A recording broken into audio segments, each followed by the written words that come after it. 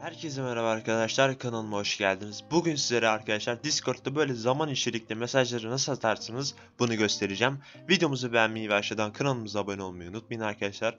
Bu saat kodlarını arkadaşlar ben zamanlarını işte kodlarını e, bu siteden vereceğim. Açıklama kısmından hemen ulaşabilirsiniz.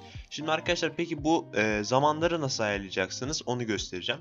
Hemen bakın böyle bir site var. E, yine bunun linki açıklama kısmında. Buradan zamanı ayarlıyorsunuz. Mesela örnek veriyorum. E, 2017 yazıyoruz.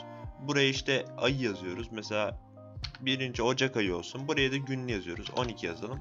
Buradan saatini ayarlayabiliyorsunuz arkadaşlar. Mesela 12 20 saniyede 00 olsun. Buraya bastığınızda gördüğünüz gibi kodumuz bu şekilde oluşuyor.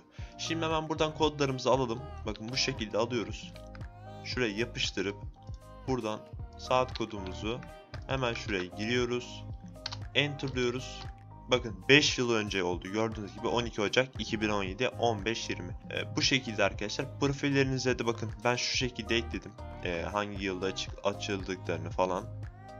Bu şekilde kullanıcı profillerinize de her yere ekleyebiliyorsunuz arkadaşlar. Botları da ekleyebilirsiniz. Normal böyle yazarken e, kullanabilirsiniz. Her türlü işte e, yardımcı oluyor. Mesela hangisini deneyelim? 27 Haziran 2021. Bakın şunu alıyorum.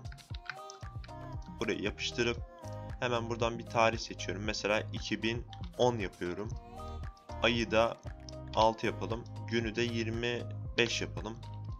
Hemen buna basıp buradan kodumuzu alıyoruz şu şekilde yapıp arkadaşlar bakın 25 Haziran 2010 bu şekilde arkadaşlar kodlarımızı oluşturabiliyoruz.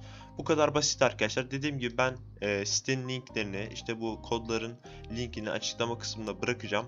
Oradan hızlıca ulaşabilirsiniz. Videomuzu beğenmeyi, aşağıdan kanalımıza abone olmayı unutmayın. Görüşmek üzere. Bay bay.